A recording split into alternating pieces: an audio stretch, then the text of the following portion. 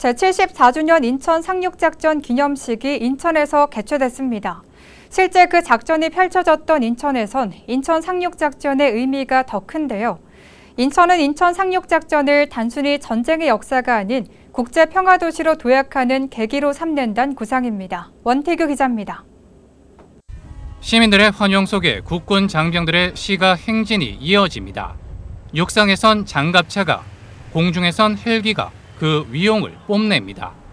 시민들은 태극기를 흔들며 시가 행진 무리를 맞이합니다. 인천은 인천 상륙작전 74주년을 기념해 국제평화도시 가입을 선포했습니다.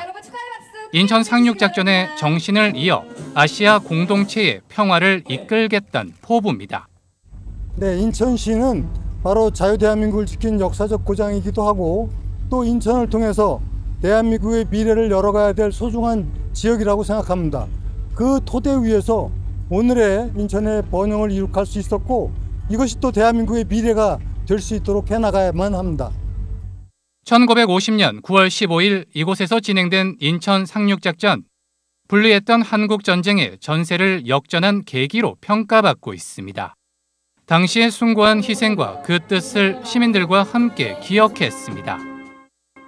그 74주년 이제 인천 상륙작전을 기념하면서 일단은 그 그때 참전하신 용사분들 때문에 우리가 이, 나라, 이 나라가 발전돼 있고 진짜 생각해도 그, 그 그분들의 노고가 참 훌륭했다고 생각합니다.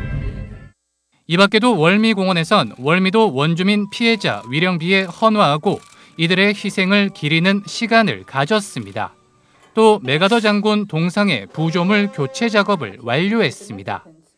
9월 6일부터 12일까지 인천 상륙작전 기념주간으로 운영한 인천은 내년 75주년 행사를 해외 참전 용사들이 함께하는 국제적 행사로 추진한다는 계획입니다.